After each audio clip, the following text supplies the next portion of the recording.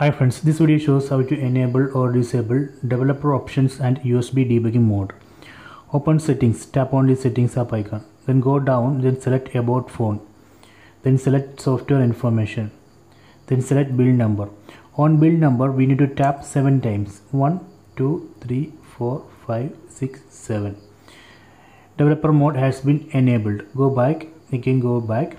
Then under this about phone here we can see developer options. Tap on that.